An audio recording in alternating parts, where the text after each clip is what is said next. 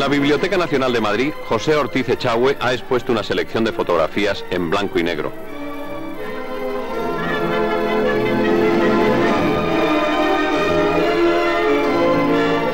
Ortiz Echagüe, maestro del realismo fotográfico, galardonado universalmente en salones y exposiciones, eleva sus fotografías a un indiscutible plano artístico con singular técnica personal, empleando el procedimiento al carbón directo sobre copias positivas con cuatro capas de emulsión sobre el papel.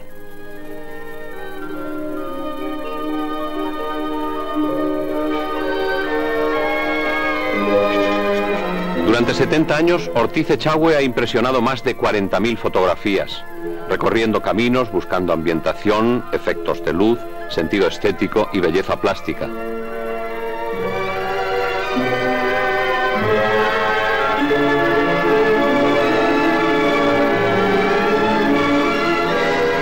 Esta máquina fotográfica Fotoesphere, y cuando solo contaba 16 años de edad, en 1903, obtuvo esta fotografía, Sermón en la aldea, con varios segundos de exposición y placa ortocromática. Después renovaría notablemente su equipo fotográfico, ampliadoras y material de laboratorio.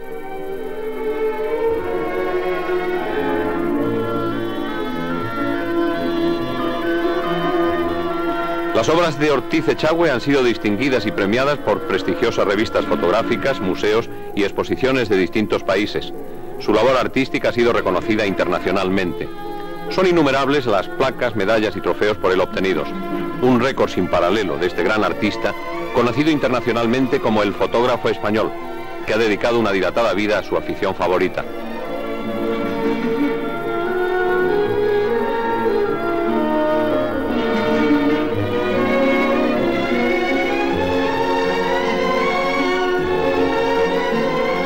Pero José Ortiz Echagüe, profesionalmente, ha sido creador y director de grandes e importantes industrias. Ingeniero militar, piloto de globo libre y piloto de aviación. Aquí le vemos en 1911, en 1913 y finalmente en 1963, después de un vuelo supersónico en una base norteamericana.